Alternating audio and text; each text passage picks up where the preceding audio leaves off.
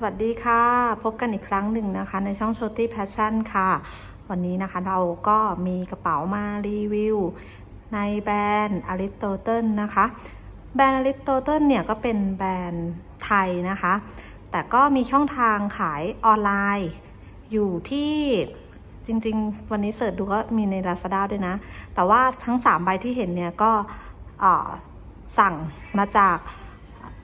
เว็บไซต์ของ Aristotle โดยตรงนะคะ รวมทั้งจริงๆก็มี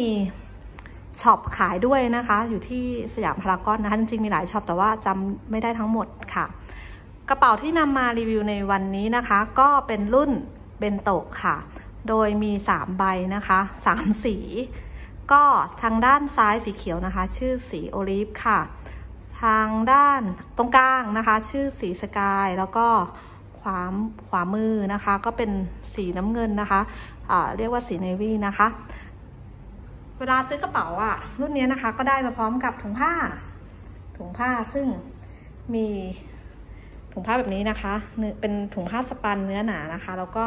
ประทับแบรนด์ของเขาด้วยนะคะ เผื่อว่าใครสนใจซื้อก็พิมพ์ตามนี้ได้เลยนะคะใน Google แล้วก็มีใบ การันตีการ์ดนะคะ เป็นการ์ดอ่อนๆนะคะ ไม่แข็งนะคะ ซึ่งก็จะมีชื่อวันที่ซื้อแล้วก็สีบอกด้วยอยู่ตรงนี้นะคะ ทีนี้เรามาดู ใกล้ๆกันนะคะ ดูสีน้ำเงินก่อนนะคะ สีเนวี่นะคะ ก็เป็นสีน้ำเงินที่ตัดกับอะไหล่สีทองค่ะ พอเป็นสี sky สีฟ้านะคะ เขาก็ออกมาในแนวพาสเทลนะคะเขาจะ ตัดกะอะไหล่สีเงินก็จะดูน่ารักกว่านะคะ คือก็จะมีสีชมพูด้วยนะคะ ที่แบบออกแนวพาสเทลเหมือนกัน ก็จะเป็นอะไหล่สีเงินค่ะ แล้วก็สี olive นะคะ เป็นสีเขียวนะคะ สีเขียวแบบนี้เลย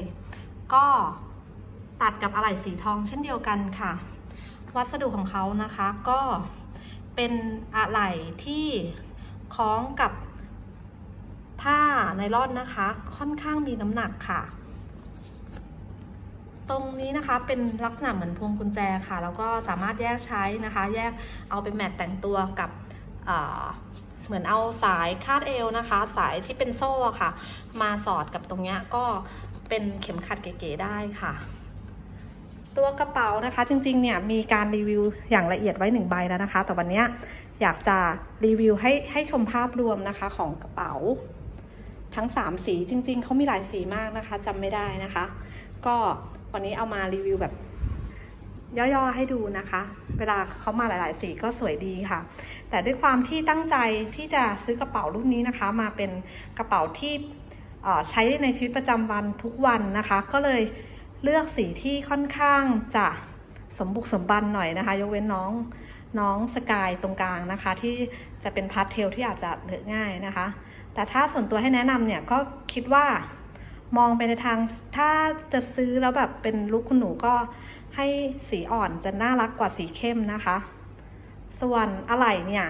ถึงแม้จะบอกว่าอะไหล่ค่อนข้างมีน้ำหนักแล้วมีคุณภาพเนี่ย แต่ดูแนวโน้มในอนาคตเนี่ยมีโอกาสที่จะลอกได้นะคะ ก็ยังไงเนี่ย